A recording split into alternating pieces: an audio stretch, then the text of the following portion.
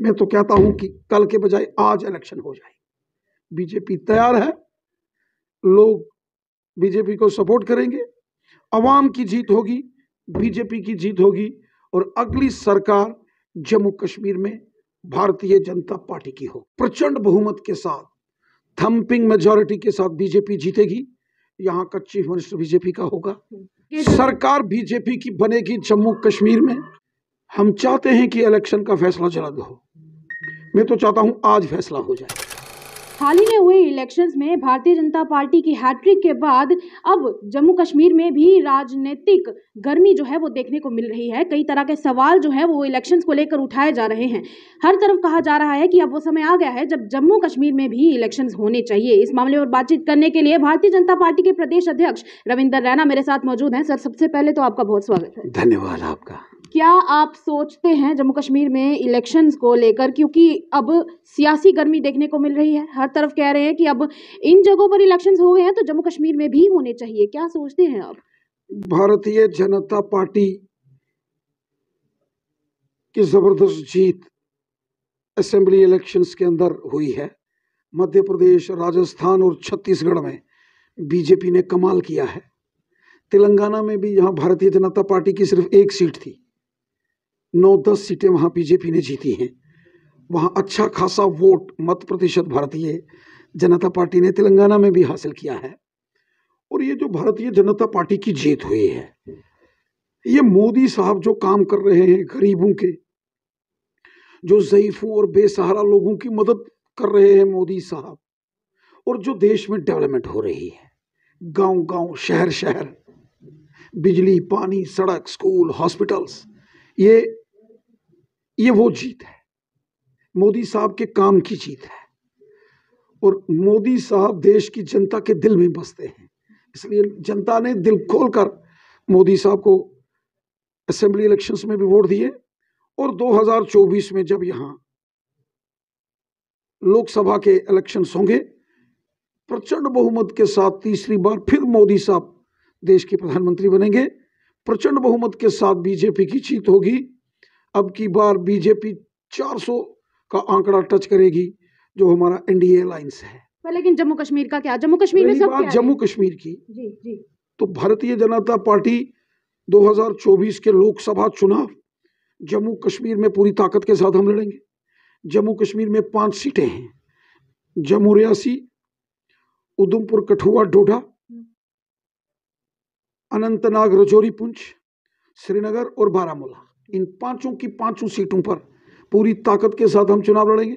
और जो मोदी साहब ने काम किए हैं, जम्मू कश्मीर में गोल्डन कार्ड, आयुष्मान भारत पाँच पाँच लाख एक एक साल में इलाज के लिए हर इंसान को, गरीबों को फ्री मकान, हर पंचायत में दो दो सौ तीन तीन सौ चार चार सौ मकान, गरीब किसानों के खाते में छः छः हज़ार, गरीब बच्चों को स्कॉलरशिप स्कीम्स गरीबों को फ्री राशन और अगले पाँच साल भी मोदी साहब ने कहा, फ्री राशन गरीबों के लिए।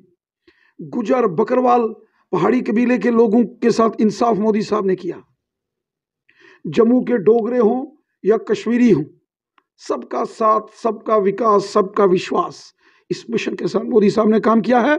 पार्लियामेंट में भी हम जीतेंगे और जब असेंबली इलेक्शंस होंगे, तब भी बीजेपी जीतेगी जो हमने काम किए हैं।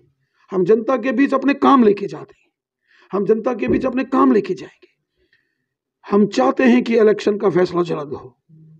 मैं तो चाहता हूँ आज फैसला हो जाए। लेकिन ये फैसला मैंने नहीं लेना है। इलेक्शन कमीशन ऑफ़ इंडिया ने करना है। मैं चाहता हूँ इलेक्शन कमीशन ऑफ़ इंडिया फैसला करे कि जम्मू कश्मीर में असेंबली के इलेक्शन होंगे। हमने एक चीज़ और भी देखी, पिछले दिनों एक चीज़ कि ये कि भारतीय जनता पार्टी की हैट्रिक दूसरी चीज़ थोड़ा और पीछे चल के अगर देखें तो लेफ्टिनेंट गवर्नर मनोज सिन्हा कहते हैं कि इलेक्शन यहाँ से करवा के ही जाऊँगा। कहीं ऐसा तो नहीं है कि ये एक आने वाले समय की प्रिडिक्शन है कि भारतीय जनता पार्टी अपनी तरफ़ से पूरी पूरी पॉजिटिव है कि जीत के सरकार बीजेपी की बनेगी जम्मू कश्मीर में। तो एलजी साहब कहीं इसी चीज़ का तो नहीं ना इंतज़ार कर रहे थे? देखिए सरकार तो जम्मू कश्मीर में भारतीय जनता पार्टी की बनेगी। बीजेपी की जीत होगी। प्रचंड बहुमत के साथ थम्पिंग मेजोरिटी के साथ बीजेपी जीतेगी। यहाँ का चीफ मिनिस्टर बीजेपी का होगा। हमने जो लोगों के काम किए हैं जो गरीबों ज़यीफ़ों दर्दमंदों और बेसहारा लोगों की खिदमत मोदी साहब ने की है और जो डेवलपमेंट जम्मू कश्मीर में हो रही है लोग इसको वोट देंगे। सब अमन खुशहाली भाईचारा चाहते हैं। क्या हिंदू क्या मुसलमान क्या सिख क्या ईसाई सबका साथ सबका विकास, सबका विश्वास। मैं तो कहता हूँ कि कल के बजाय आज इलेक्शन हो जाए बीजेपी तैयार है, लोग बीजेपी को सपोर्ट करेंगे अवाम की जीत होगी बीजेपी की जीत होगी, और अगली सरकार जम्मू कश्मीर में भारतीय जनता पार्टी की होगी। हाल ही में एक प्रोग्राम हमने देखा उस प्रोग्राम में इंटेलेक्चुअल्स को भी बिठाया गया था। साथ में हमने देखा कि एंटरटेनर्स को भी बुलाया गया था। इंटेलेक्चुअल्स और एंटरटेनर्स दोनों को एक प्लेटफॉर्म पे साथ में लाना क्या जो जो यंगस्टर है यूथ है जी। ये हमारे देश की पावर है। जी। दो जो youth youth power is nations power और बीजेपी की ताकत है ये यंगस्टर्स इसलिए इनके साथ हमारी मीट्स होती है। इंटेलेक्चुअल लोगों के साथ मीट होती है मिलकर रणनीति बनाते हैं मिलकर काम करते हैं। मिलकर देश को मज़बूत करना है मिलकर देश को आगे बढ़ाना है मिलकर सबकी समस्याओं का समाधान करना है। बात रही इसी सबसे रिलेटेड क्योंकि देखिए अब जगह की अगर बात की जाए राजस्थान में सबको पता था कि ऊंच नीच का बड़ा भेदभाव है तो भारतीय जनता पार्टी ने उस पर ध्यान बीजेपी बीजेपी सबको साथ लेके चलती है। हम्म। बीजेपी के लिए समरसता। मतलब सब एक परिवार। हम्म। हम सब एक है। कोई छोटा नहीं कोई बड़ा नहीं कोई ऊंच नहीं कोई नीच नहीं। ये ऊंच नीच करना पाप है अपराध है। एक देश के अंदर रहने वाला हर शख्स हम सब भारतीय हैं। इस देश के नागरिक हैं हम सब भाई बहने हैं भाई भाई हैं और हमको मिलकर रहना। है तो जहाँ अब बाकी की स्टेट्स में भारतीय जनता पार्टी उन समस्याओं पर काम कर रही है, जम्मू कश्मीर में भारतीय जनता पार्टी समस्याओं पर कितनी जल्दी काम करेगी? क्योंकि सब समस्याओं का समाधान होगा। सब समस्याओं का समाधान भारतीय जनता पार्टी करेगी, बीजेपी। क्योंकि ये जनता की पार्टी है, लोगों की, आवाम की पार्टी है। और हम लीडर नेता नहीं है, हम सेवादार हैं। आवाम के खिदमतदार हैं। हमने लोगों की खिदमत करनी खिदमत खलक के जज्बे से काम करते हैं। खिदमत खलक हमारे खून में है। लोगों की खिदमत, गरीबों की खिदमत, ज़यीफ़ों की खिदमत, बेसहारा लोगों की खिदमत, जिनका कोई नहीं है, उनकी खिदमत। जाते जाते मेरा आखिरी सवाल रहेगा।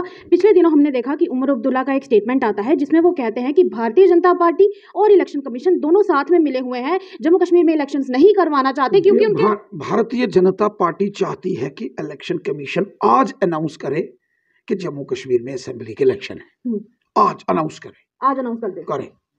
बीजेपी तैयार है क्योंकि हमें मालूम है अब की बार जम्मू कश्मीर में भारतीय जनता पार्टी पचास बार अब की बार जम्मू कश्मीर में भी मोदी सरकार। अब की बार जम्मू कश्मीर में भारतीय जनता पार्टी का चीफ मिनिस्टर बीजेपी की तो सरकार। अब की बार पचास पार और जम्मू कश्मीर में भारतीय जनता पार्टी का ही चीफ मिनिस्टर होगा। ये थे हमारे साथ भारतीय जनता पार्टी के प्रदेश अध्यक्ष रविंदर रैना। अपनी जो राय है वो कमेंट बॉक्स में ज़रूर व्यक्त कीजिएगा। फ़िलहाल के लिए मुझे दीजिए इजाज़त और इस रिपोर्ट के लिए कमेंट ज़रूर कीजिएगा। फ़िलहाल के लिए धन्यवाद।